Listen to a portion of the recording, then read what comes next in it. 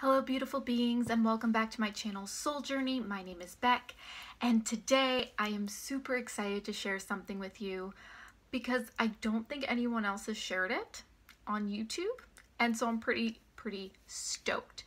So for those of you who know, I uh, follow the teachings of Teal Swan along with a lot of other teachers, but she really resonates with me a lot and um, I've unboxed a few of her frequency paintings on here. Um, I have a few of her frequency uh, pendants. Um, her teachings just really resonate with me and I have really grown a lot from her teachings. And recently, uh, in the last week, I went to New York to one of her synchron synchronization workshops, which I will be doing a full video on my experience with that uh, coming soon. So like if you're interested in seeing that, definitely subscribe um, or stay tuned for that. And while I was there, um, she has produced a tarot deck um, with her frequency paintings, and I have, ooh, little, little itch. I've wanted to get her tarot deck. As you guys know, I am a professional tarot reader, and I collect tarot and oracle. And so um, I was like, well, what a perfect time to get her tarot deck. So I grab the tarot deck, I'm about to purchase it, and I look down and I see a Teal Swan Oracle deck, which I have never seen, ever. Not on her website, not on YouTube, and I was like, oh my gosh, this has to be a new deck that like isn't like out yet. And I asked them, I was like, is this gonna go on the website? And they said they didn't know, which I can't imagine it won't be. Um, but I didn't want to take that chance because you can order the tarot deck online and I was like, well, I, I need to get the, the Oracle deck. and then I looked on YouTube and I have not seen any videos on this Oracle deck. So I was like, ooh, first. So today, um, I did unbox it that night. So this isn't like an unboxing. This is more of just like a look through and review. Um, so today we are going to have a look at the Blind Spot Oracle cards by Teal Swan. Uh, it's a 78 card deck and guidebook by Teal Swan. The box is absolutely magic. I mean, this is, oh. Teal works with cards, so she knows what she's doing. And um, her tarot deck is just in a little cardboard box or whatever, but this is just like next level. Again, this is probably going on her website. I got it at the workshop but I'm not really sure where you can get this, so like, you know, look out for it. Um, what I noticed here, okay, so this deck is a sigils deck. So it's a little different from her frequency uh, tarot. These are sigils that she made while in trance for different blind spots. So basically the shadow aspects of whatever you're looking at. And I was like, that's really, really cool. I'm really excited about that. And what I noticed is actually on the front here, these little symbols are actually all the sigils, which I thought was really kind of like a cool thing. And then on the back, it has her here and just a little thing about the blind spot. It says the blind spot oracle deck is designed to specifically tell you what you are not aware of relative to whatever you are consulting the cards for. Each sigil in this deck has the capacity to influence you like a teacher or guide so as to make you aware relative to the specific blind spot it has chosen to be assigned to. Teal Swan is a personal transformation revolutionary who was born highly intuitive. Um, she's extrasensory. Has a renowned, uh, as a renowned author, speaker, and public figure, she travels the world teaching about self-awareness and integration of an emotional, mental, physical, and spiritual level. So, for more information, ch check out tealswan.com. Obviously, this is not sponsored. I'm just really, really excited. So, the box is gorgeous. Um, I'm trying to think of like what level it's on because it's it's better than most boxes that I have come across. I mean, if I was gonna like compare it, probably closest would be like Blue Angel, but it's like nicer than that. There is a box that this is reminding me of, and I'm trying to figure out what it is. Anyway, so Here's the box like this. Now I'm not going to go through all the sigils because the cards look all very similar. So I will show you kind of what's going on with them. Um, but first, here's the book. It's a really nice book. Um, and it starts off um, talking about the Blind Spot Oracle. Um, talking about the images. Now, what she says um, about the sigils is unlike a symbol where it represents something, a sigil is used in magical, um, can be used in spell work. It holds the frequency of the actual thing. So it's actually more of like a portal for that um, energy. And so these sigils were created by Teal while she was in trance, channeling what would be best for each blind spot. So she said that some of them um, actually hold the frequency of the blind spot, so that will be the teacher, and then other ones almost hold like the opposite of the frequency so that it helps like bring your awareness to it. Um, before you begin, uh, she talks that about not clearing the deck because when each sigil works, um, that energy actually makes the sigil work better, which is kind of interesting that she specifically said don't clear it. Um, and then she talked about how the um, different ways to use it. She has some spreads here. Um, and it's just like the beginning. So the first 10, 11 pages are introduction. And then it gets into the meanings of the cards. And as you can see, um, the sigils aren't actually in the page on the pages, but it's a good like one and a half pages for each sigil, I say. And they're pretty hard hitting. like I've pulled two and I'm like, damn. But I mean, your blind spots, right? They're your shadows.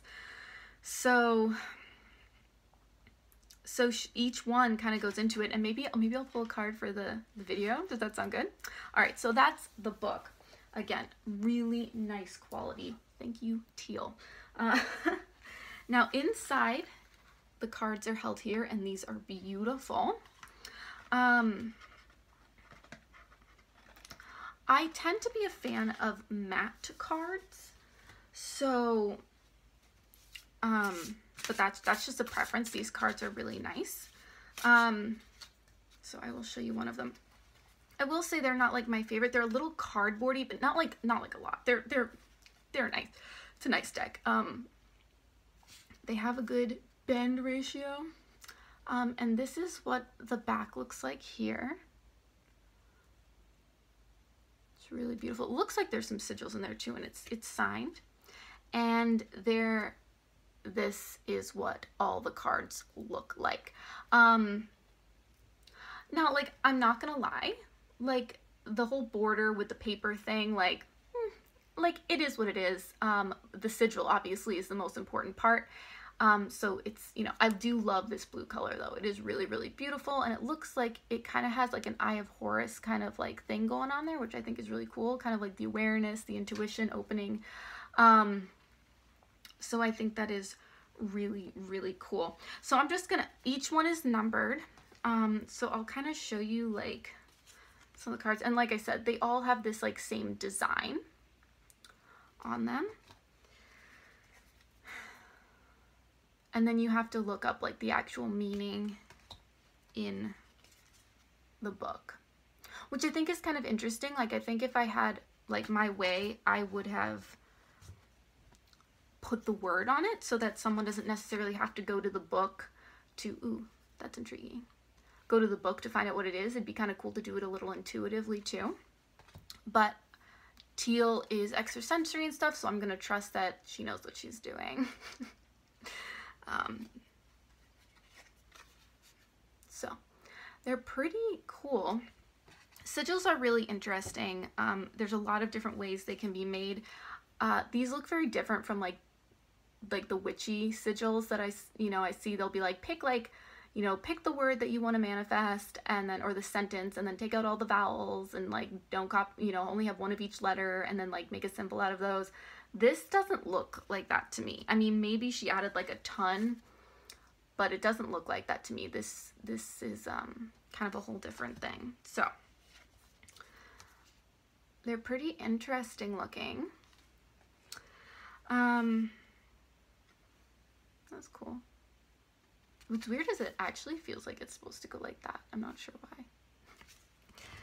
Um, so yeah, so this is what the deck looks like.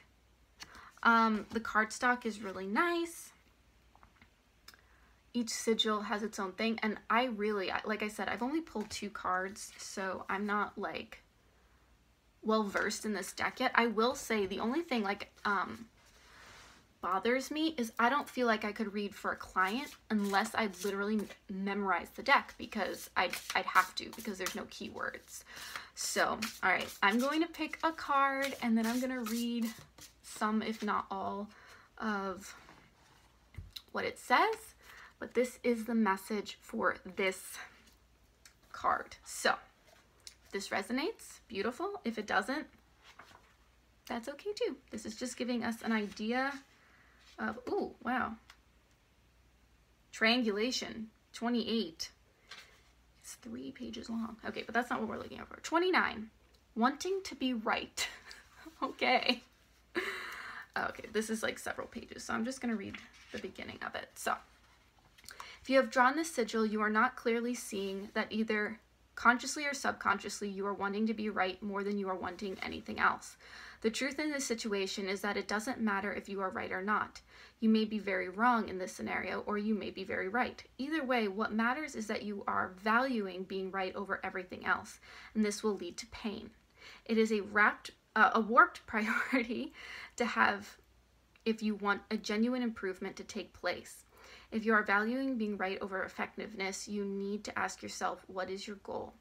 What do you get out of being right? In relationships, especially when it comes to conflict resolution, this will get in, us into a lot of trouble. It will take finding a solution, it will make it will make finding a solution impossible. It will lock us into a struggle of ego versus ego. We need to ask ourselves if we want to be right or have success. We need to ask ourselves if we want to be right or if we want connection, because often these things are opposed. What we tend to do when we are defending our position is that we get louder. We feel ourselves losing ground relative to something that is very important to us. We talk over others, we interrupt, we shut others down, we try to convince everyone that we are right. It is akin to an alternate reality experience because we get feverish like a dog with food aggression over a bone. It feels it feels like this because our brain has quite literally been hijacked. Our body is being flooded with stress chemicals. The body makes a choice that it is being flooded with these messages. Um, it is being flooded with these messages and that we are being threatened. Whether that threat is external, an external threat or just the threat of shame and the loss of power associated with being wrong. And that choice is to shut down executive function like compassion and uh, and strategy and openness. Instead, our instinct takes over and we do one of four things. And then it kind of goes into um, kind of examples. Um, and then it says, if you have drawn a sigil, you've got to let go of the need to be right and instead look to be understood. To do this, you'll have to put effort into understanding others, listening to them, seeing them, and feeling them. When you do that for others, they will want to do it for you. All people have important opinions perspectives, and, informative, and information to share.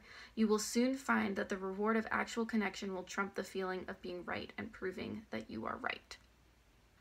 So, like I said, pretty hard hitting messages. Um, I am excited to work with this deck, if not a little nervous. I don't think it's going to pull its punches. um, but honestly, like if we really want to evolve and do our shadow work and really be present, sometimes we need that. So anyway, this is the Blind Spot Oracle cards by Teal Swan. Like I said, I'm not sure um, when this is going to be available.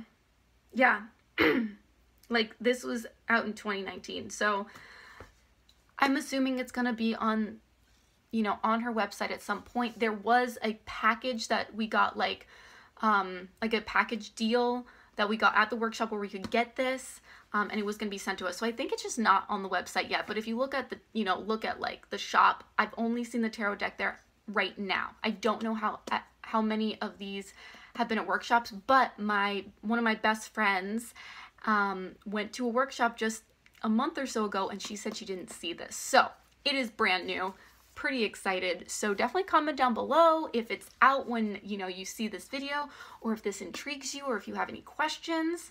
Um, like I said, I haven't worked a lot with this deck yet, so we'll see. I might be able to answer questions better as the months progress. So definitely uh, leave a comment if this deck intrigues you and head over uh, to tealswan.com to check out her stuff and also her tarot deck and all that yummy stuff. So Thank you so much for watching. Please definitely give this a like and hit subscribe if you want to see more videos like this in the future. And also if you want to see my video on my Teal Swan synchronization workshop video, that will be coming soon as well. And if you'd like to check out my other social media platforms, the link to that in the, is in the description down below, along with my Etsy shop if you'd want a personal reading with me or see my other uh, soul journey tools on my uh, Etsy shop, which is all down in the description. So thank you so much for watching. Many blessings. Namaste. And don't forget, it is all about the soul journey.